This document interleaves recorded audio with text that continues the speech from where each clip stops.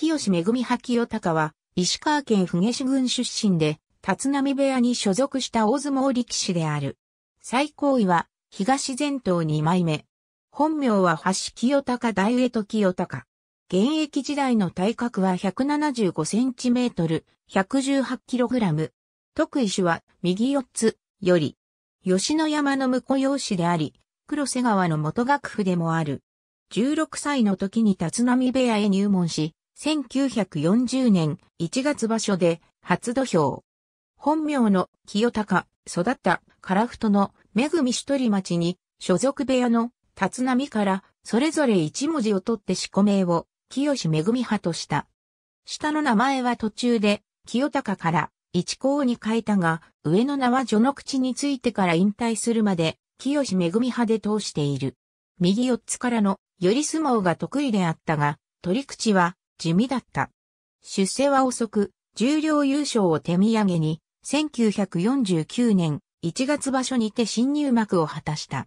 しかし、その後は中堅力士として終始し、三役昇進はならなかった。また、二桁勝利を何度も記録しながらも、三勝は一度も受賞できなかった。自己最高位の東前頭2枚目で迎えた1951年5月場所では、4日目に大関、潮の海から自身唯一となる銀星を奪っている。長く幕内で活躍し、1959年1月場所では35歳7ヶ月で再入幕を果たした。これは戦後2位の年長再入幕記録であった。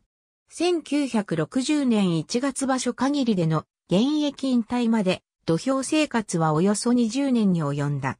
引退後は年寄り中川を襲名し、間もなく立浪部屋から独立して中川部屋を創設した。しかし、関取を一人も出せないまま、1973年に部屋を閉鎖。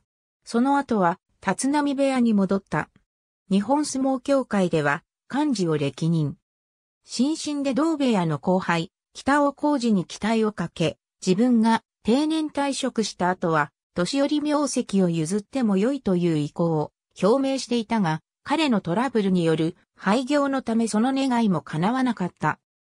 中川の名跡は、同門の宮城野部屋に所属していた元前頭、筑陽さんに貸与し、彼が1989年6月に宮城野部屋を継承した後は、同じく同門の元、福の海に太陽、最終的に同郷で同部屋の後輩でもある、大正山に譲られた。